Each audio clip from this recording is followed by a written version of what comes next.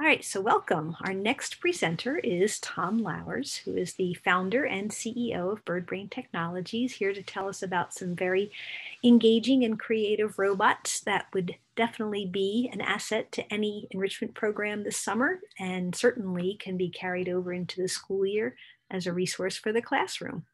So I will stop sharing.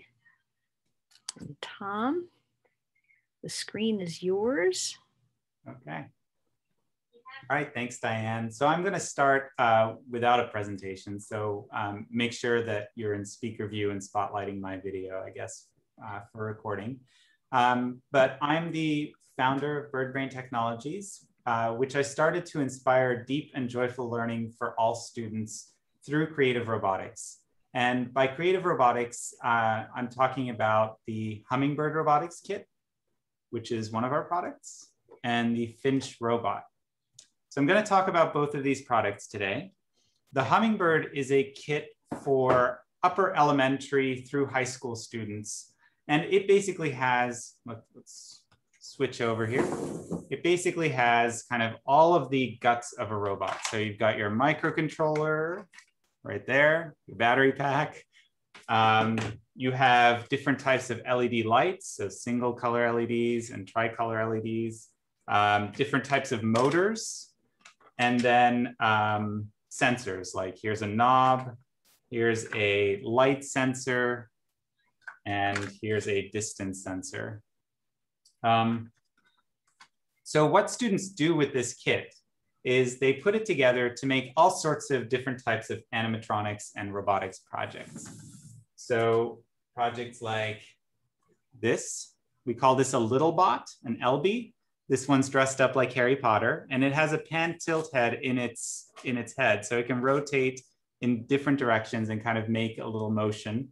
Um, so that's kind of one of the simpler robots, and we actually have the plans for that robot on our site, step-by-step -step instructions.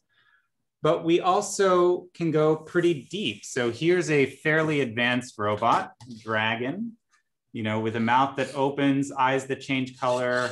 Um, these wings can move up and down. And if you look inside it, and let me switch over here. I mean, it's a lot of wires uh, connected to the Hummingbird controller. Um, and then what I think is really important to recognize about Hummingbird is that it is optimized for interdisciplinary project-based learning. So you can basically throw a Hummingbird kit into any classroom or any subject and take the content from that core classroom, so that English language arts or that social studies or that science classroom, and combine it with robotics and engineering design and computer science. So here's, here's an example little project. It's a 2B-o-meter. Uh, so obviously has a bit of a Shakespeare kind of link but you know it's to be or not to be. And it just has a servo and an led light and a sensor or a knob to kind of uh, you know determine whether you want to be or not to be today. Um, so yeah so that's a little bit about the hummingbird kit. Uh, the way it was designed was in consultation at carnegie mellon university initially with uh, groups of middle school girls and then with groups of middle school teachers.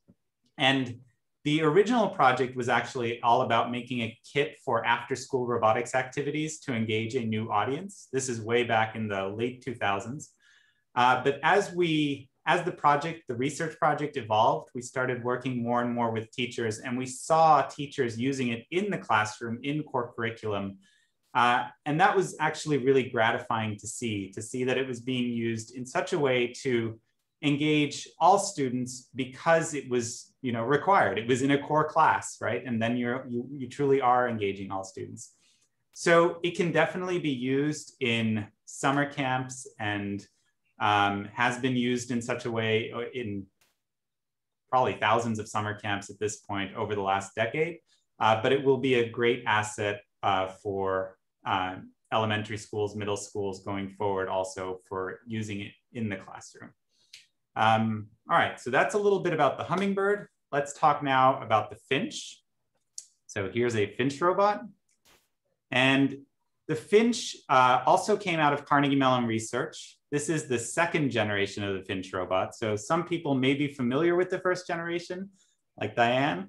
Um, the second generation has been updated as of last year. And the Finch is all about learning computer science and computational thinking. And we designed the new version of the Finch to really work from kindergarten all the way up through college. And the way we do that is by having the Finch be programmable in lots of different ways. So at the, um, at the kindergarten, first, second, third grade level, you can program the Finch with an icon-based programming environment where you don't need to know how to program and you don't need to know even how to read in order to uh, move and turn the Finch, make it light up, make it make sound or make it play music. Um, once you progress beyond that sort of icon-based programming environment, you can use the Finch with blocks-based programming. So programming environments that you know are similar to Scratch or similar to code.org that many of your students may already have some familiarity with.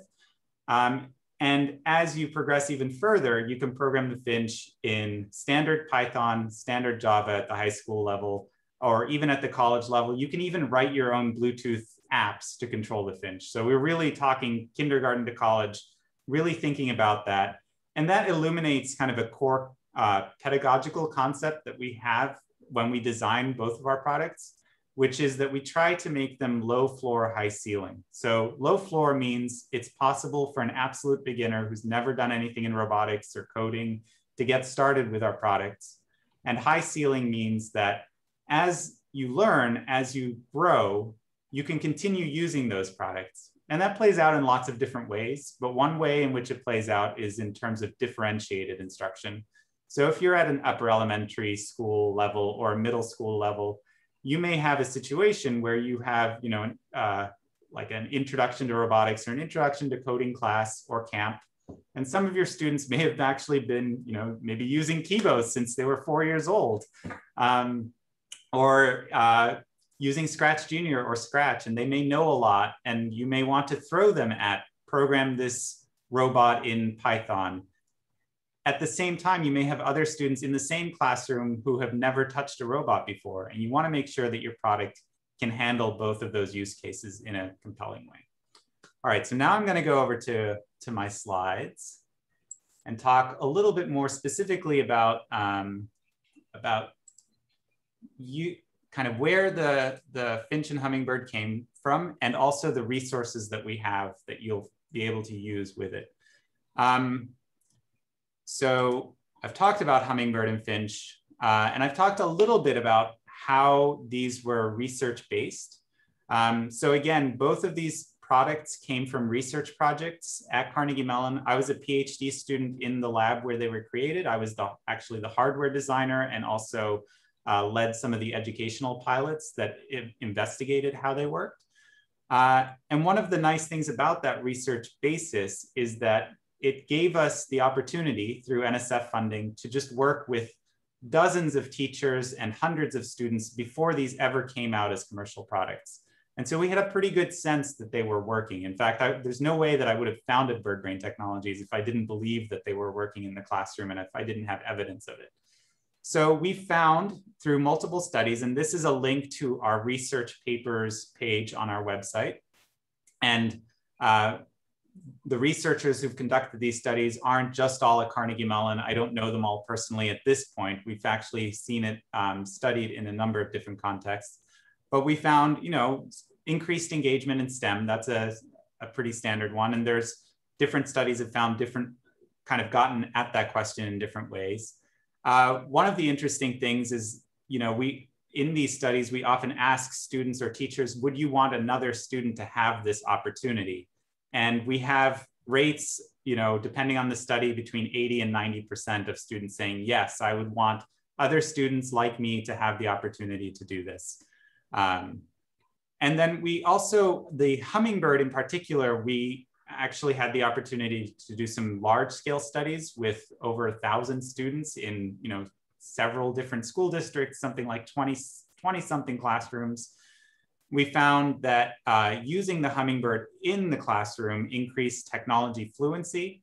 which is defined as the ability to manipulate technology creatively, or another way to put it is, you know, instead of being technology consumers, these are technology creators, or these students feel that they are now technology creators.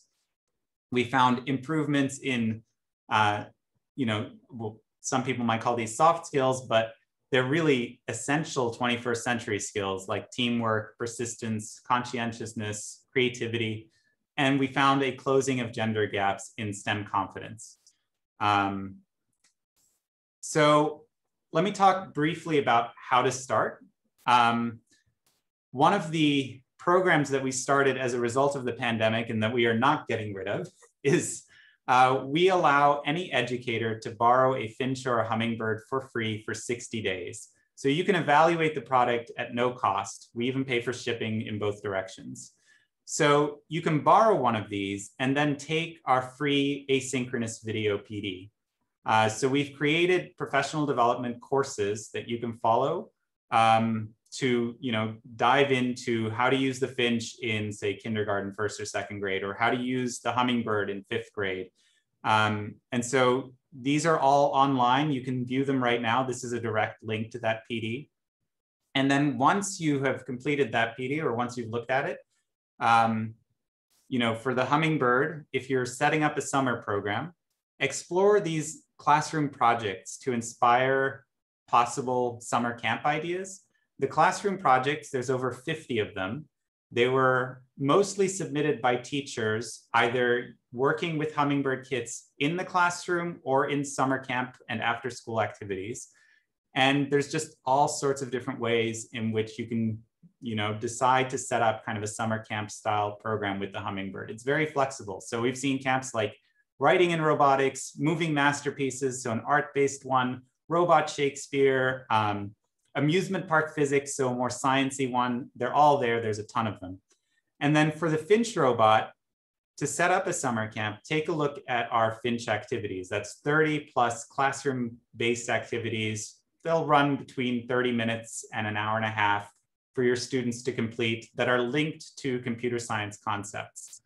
Um, I guess one last thing I should mention is there's also a standards alignment page on our website that you can go to where you can see how we've aligned um, these activities, these projects in our tutorials with CSTA and Common Core standards. And then finally, just, you know, we're a small company. There are currently six of us. We're going on seven or eight in the near future. Um, so please reach out to uh, us. You will get a human being. Um, you feel free to email us at info at birdbraintechnologies.com. My personal email is tom at birdbraintechnologies.com. So, you know, if you've gone through this and you need some advice or you need some additional live PD, we can definitely provide that. And then lastly, there is a, you know, if you're interested in more Zoom webinars or more webinars today, there just happens to be a webinar on the Finch robot that's a little bit of a deeper dive. Here's the information. It's at 7 p.m. tonight, and it's with Maryland uh, computer science educators. So it, it's sort of your cohort already. Um, so yeah, that's it. Yay, thank you very, very much.